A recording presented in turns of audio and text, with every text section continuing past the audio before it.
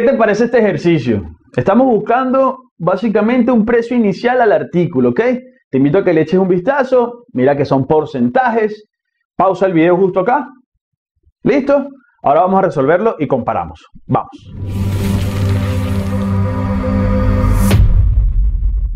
Muy bien, están pidiendo el precio inicial del artículo que se le hizo dos descuentos sucesivos del 20% y se sabe que el último precio es 72 mil. Tú puedes hacerlo probando con opciones, pero la idea es también ir, digamos, sin las opciones, resolverlo. Vamos a hacerlo de las dos, vamos a pensarlo de las dos maneras, mejor dicho. Tú tenías un precio inicial, ¿ok? Aquí había un precio inicial que se le hizo un descuento del 20%, nos dio un valor, no sabemos cuál es, se le hizo otro descuento del 20%, nos dio otro valor que sí sabemos cuál es, porque quedó en 72 mil. ¿Ok?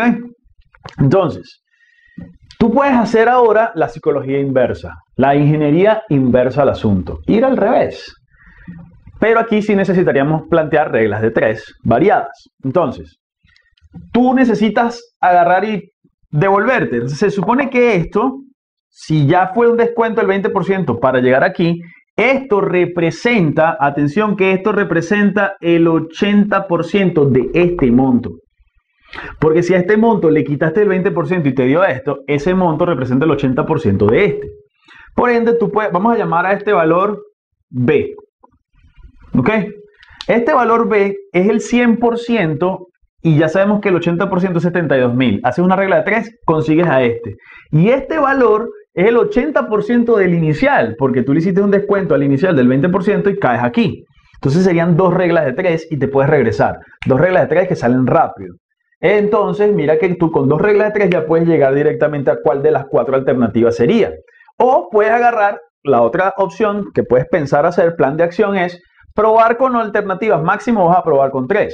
Agarras la opción A, la pones aquí, quítale el 20%, ve cuánto te da. Al valor que te queda aquí, quítale el 20%, ve si te da 72 mil. Si te da, esa es la respuesta. Si no te da, descartas y pruebas con otra.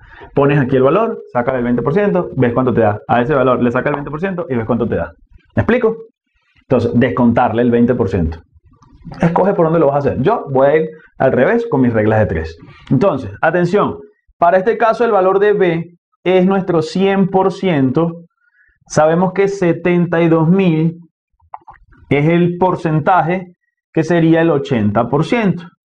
De allí el valor de B sería porcentaje regla de 3 directa siempre, 72.000 por 100. 72.000 por mi 100% dividido, ¿quién? El otro porcentaje que es el 80%.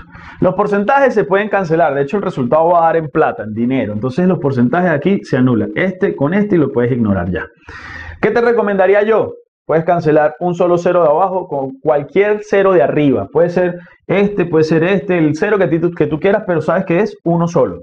Vamos a quitárselo al 72.000, entonces quedaría 7.200 por 100 dividido 8. Pero no lo veas como 7200, velo como 72. 72 entre 8. ¿Quién multiplicas por 8 para que dé 72? El 9. Quiere decir que 72 entre 8 es 9.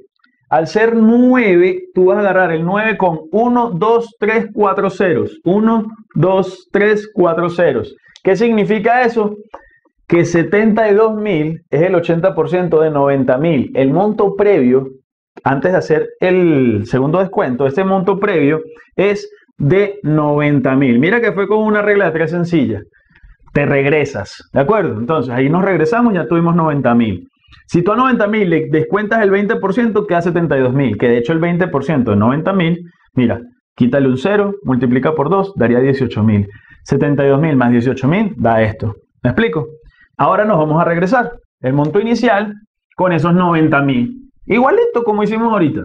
Entonces tienes un monto inicial que es el 100% para 90 mil y resulta que esos 90 mil representas el 80%, como te mencioné en un principio. ¿Por qué el 80%? Porque el monto inicial se le descontó en el ejercicio 20%. Ahí lo ves. Y luego de quitarle el 20%, cayó esa cantidad. Significa que esto representa quién? El 80% pero para el valor anterior. ¿sí?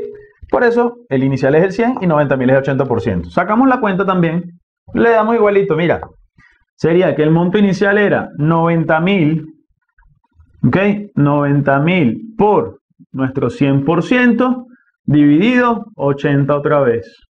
Y ahora ahí vamos a decir, mira, eh, cuando queramos simplificar no va a dar exacto, pero vamos a ver cómo va el asunto.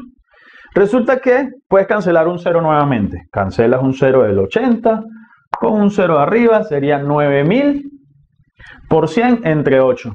Entonces tú dices, ¿cuánto dará eso? Saquemos cuenta. Sería 9000 por el 100 dividido 8. Tú podrías agarrar el 9000 y pegarle dos ceros más y hacer tu división tradicional entre 8. Escoge por donde tú lo quieras hacer. O dividir entre 8, puedes sacarle la mitad a algo tres veces. La mitad de la mitad de la mitad. ¿Me explico? Tú puedes hacer esto, mira. ¿Por qué? Porque es que 8 es 2 por 4. 8 es 2 por 4. TFA, lo vimos en la parte conceptual. 8 es 2 por 4 o 2 por 2 por 2. Entonces tú puedes agarrar y enfocarte a 9000 entre 2, a 100 entre 4 y los dos resultados los multiplicas. 9000 entre 2, ¿cuánto da? La mitad de 9000 es 4500 por 100 entre 4. La mitad de 100 es 50, la mitad otra vez es 25. 4500 por 25 es lo mismo, ese resultado va a dar lo mismo a que tú agarres 9000 por 100 entre 8. Entonces, tú escoges o multiplicas o divides como tú quieras hacerlo. Lo importante es que te sientas cómodo por el trayecto. Aquí por ser multiplicación de dos cifras, a mí me daría pereza, como le dicen en Colombia, hacerlo así. Pero yo lo, te lo explico para que tengas diferentes mecanismos, diferentes formas de razonarlo, ¿ok? Entonces, aquí sí, uno, uno cuando está estudiando sin calculadora, sin calculadora, 9000. Cuando lo multiplicas por 100, pues le agregamos dos ceros más y tenemos 900.000. 900.000 entre 8. Lo puedes pensar como la mitad de 900.000, 450.000. La mitad otra vez, de 450.000, 225.000 y la mitad de 225.000 te daría 112.500. O tú agarras y dices, bueno, 900.000 dividido 8. Agarro el 9, 1 por 8, 8, el 9, 1. Agarro el 0, 1 por 8, 8, el 10, 2. Bajo el 0, 2 por 8, 16, al 24. Bajo el 0, 5 por 8, 40. Pago. Bajo el 0, multiplico por 0. Bajo el 0, multiplico por 0. ¡Pum!